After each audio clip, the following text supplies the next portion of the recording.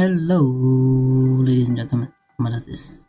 This video is going to be day 34, pack number 34, Pokemon Sword and Shield, Brilliant Stars. So without further ado, let's get it.